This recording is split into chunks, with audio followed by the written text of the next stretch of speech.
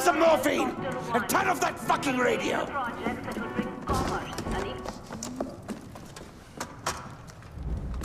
What happened to him? He fell. Pagan floods the airways and we have to endure his bullshit. Enough is enough! I told him to climb up the old bell tower, take over the transmitters, hijack the broadcasts locally. Except... I can do it. Ah! Way to step up, brother. There's nobody guarding it, but it's a tricky climb. Promise me you won't fall. I promise. I won't.